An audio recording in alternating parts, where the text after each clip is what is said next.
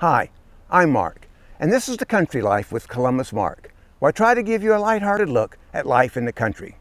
And in this episode, I'm going to tell you about the time I achieved my dream of becoming a National Park Ranger.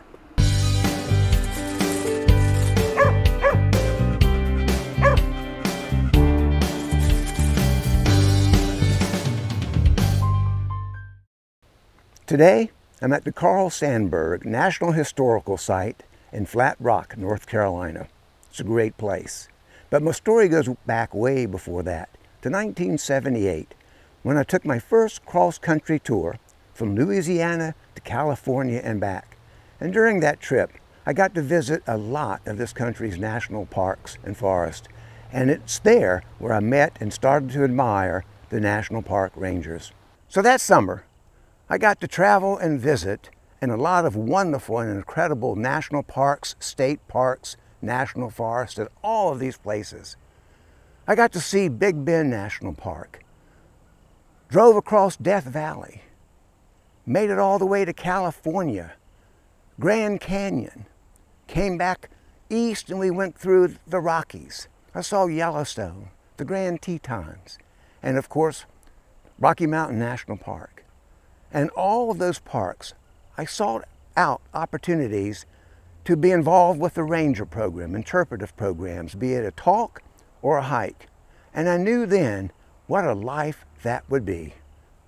But it never happened. Life just gets in the way sometimes and you move ahead. But three years ago, the opportunity came knocking. So this is a good friend of mine, Don Silleman. And Don, like me, he's retired but he's a lot younger. But Don and I had a lucky day one time, June 2017. You remember, Don? I do. I remember that. It's coming back. It it's is. coming back to you. we had a group of kids on a one-week trip in the Cherokee area in North Carolina. And it's the headquarters, the eastern headquarters, the North Carolina yep. headquarters of the Great Smoky Mountains National Park. It is. So we were in the park one day, and what happened, Don? And we ran into a regular park ranger who was there, and it was our lucky day that she uh, uh, explained to us that we could, was it a she? It was a she. okay, yeah, see, I remember, see, it's coming back.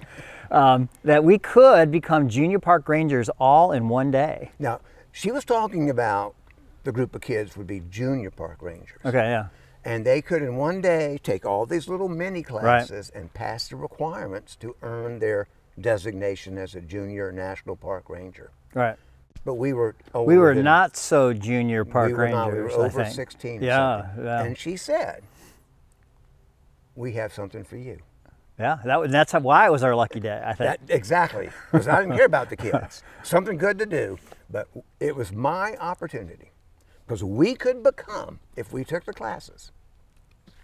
Not so junior. Not so park junior rangers. Park rangers. And we did that. It wasn't like an old fart patch either. It was no, not this so is junior. A real this is patch, real. And it says not so junior yeah. ranger. And Don says he can't find his. we have the Great Smoky Mountains National Park. Ooh. Not so junior ranger certificate. And not only that, I'm sure people can't see in the video, but I'm gonna put B-roll up.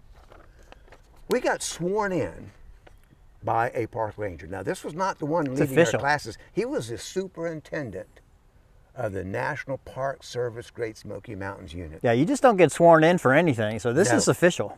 And uh, it was a proud day. Was it proud? It, it was proud. Yes, I can still recall it just like yesterday.